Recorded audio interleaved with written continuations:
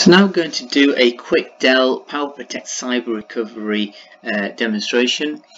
Uh, in the dashboard uh, we can see that the vault is locked and air gapped. This is providing isolation from the network so it can't be accessed. This can only be opened from within the vault itself.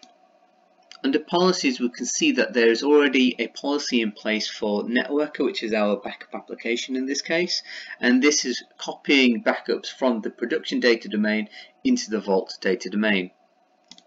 We can see that there is already a copy within the Vault and this copy is a good copy so it's already been analyzed uh, and it has found that there's no compromised data within that. We can also see that it is um, not locked, so it's not an immutable copy, and we have the option to delete it. What we can do if we want to make it immutable is just click on uh, the lock, and that will now make this a locked backup now. So we can see that it's got the lock sign on it, so it's immutable. It cannot be deleted any, any longer. Uh, under policies, we can do a, a, number of actions here. Now, these can be scheduled in this case, we're just going to run this manually and we're going to run a secure copy. And what that is going to do is that that is going to connect into the uh, production environment, open the air gap up, find the latest backup, pull the copy of that into the vault, and then once it's in the vault, it'll create a copy and lock that copy down. So if we go to dashboard, we should be able to see that the um, the air gap is open and it started off that process.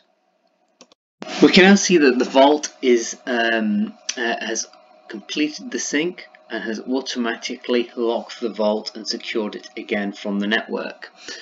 We can now uh, run analytics on this copy. So we can see there's another copy in the vault now that is already locked. We can uh, run some analytics on this using our uh, analytics engine CyberSense and this adds in the intelligence into the solution. Now we can see that our copy, new copy has been flagged as being suspicious. And we can go into uh, CyberSense and actually run a query and find out which which files have actually been compromised. If we want to run a recovery, we simply need to um, recover the um, backup application first and recover that from the actual good copy that we have.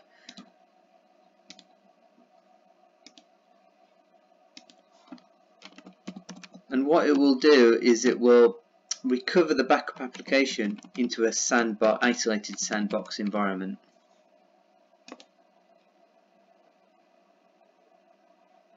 and once that backup application has been recovered then you can just go through your your normal um, recovery process to reboot up the application backup application and search through it for the files or the backups um, particular um, application that you want to recover so we can see that it is now recovering into that sandbox environment and once it is fully recovered we can then recover uh, our files or applications so that is the, um, the end of the demonstration.